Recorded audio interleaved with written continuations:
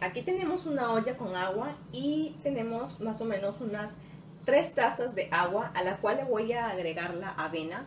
Esta avena que estoy usando yo es uh, la avena instantánea, la tres ositos, si son de Perú. Esta tiene kiwicha, así que vamos a ponerle, le voy a poner dos eh, cucharadas grandes. Le voy a poner canela, tres clavos de olor, le voy a agregar la chía,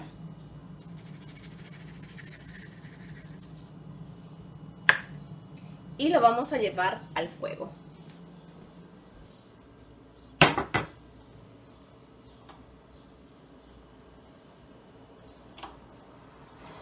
Bien, ahora seguido de aquí, lo que vamos a hacer es que vamos a partir, vamos a trocear esta piña en cuadraditos y se la vamos a agregar. Bien, aquí ya casi la tenemos a punto de ebullición. La voy a mover un poquito.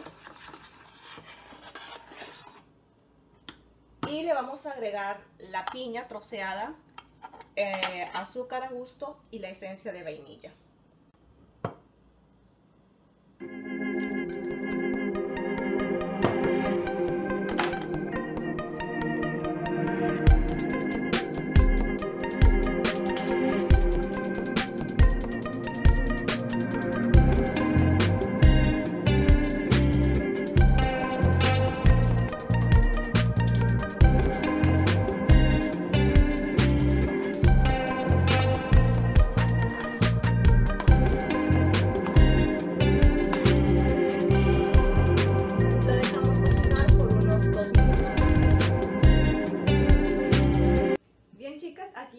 Nuestro rico, rico desayuno. Les voy a acercar a la cámara para que ustedes vean.